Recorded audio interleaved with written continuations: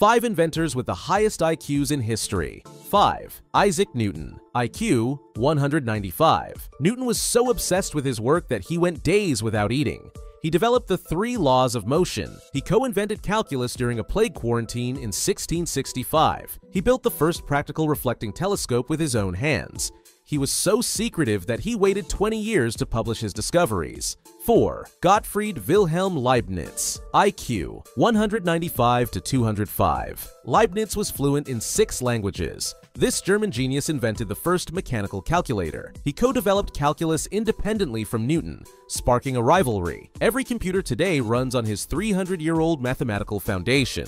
Leibniz slept only 4 hours a night and worked standing up. 3. Thomas Edison, IQ 195. Edison was nearly deaf but claimed it helped him concentrate better. He held 1,093 US patents, more than any other inventor. He invented the phonograph, which could record and play back human voices. He also built the first movie camera and opened the first film studio. 2. Nikola Tesla IQ 195 to 200. Tesla had a photographic memory. He could build complex machines in his head. He developed alternating current electricity that powers the world today. Tesla built the first remote control device in 1898, a wireless boat. Tesla predicted smartphones, satellites, and wireless internet. He was obsessed with the number 3 and had severe germophobia. Tesla died alone and poor, feeding pigeons in New York City parks.